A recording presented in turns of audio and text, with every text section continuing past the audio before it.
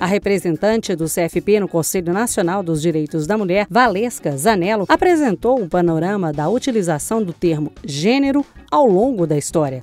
Ela destacou ainda a necessidade de consolidação de políticas em saúde mental que não medicalizem as pessoas, em especial as mulheres.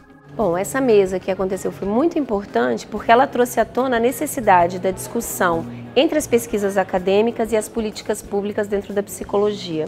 Como é que a gente pode transformar conhecimento numa prática que seja mais subversiva e empoderadora de grupos desempoderados, principalmente as mulheres.